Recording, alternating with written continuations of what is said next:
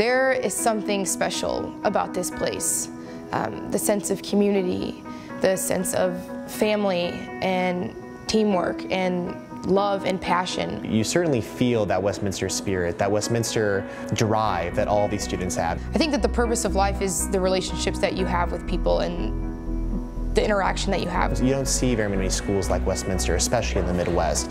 And I think that's something that um, a lot of alumni and a lot of current students certainly feel. They feel that uniqueness and they feel that certain diverse spirit that Westminster has that, you know, really can't be replicated. For me personally, it's the diversity that's here.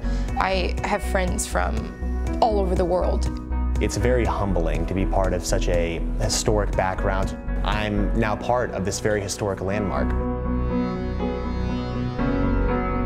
I'm first generation, so um, I don't know, I didn't know anything about colleges or, and none of my family had any input about what a college was or where to go. And so when I got here, it was, it was brand new and everything was perfect. And so I said, there's no point in going anywhere else to look because I fell in love immediately. I was pretty positive I wanted to go to law school, uh, pretty much right, right from the start. My whole life, I knew that, this kind of sounds weird, but I knew that I was always made for something on the bigger picture, on the bigger scale. My philosophy professors have really, you know, helped inspire my love for logic and critical thinking that's so involved in law. And so without the generosity of the people who donate and give money to Westminster, that, that's not possible. The generosity and the kindness that these alumni have towards students that they may not even have ever met before, it's really heartwarming. Having this, kind of like this invisible group of people that love and care and support you that you, you probably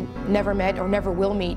And they are the ones who are making sure that they're giving you that boost. They're making it happen for you. In a lot of ways, the Westminster Fund is my Westminster experience. It's allowed me so many opportunities. The professors here, my friends here, the incredible activities that I'm able to take a part of every year.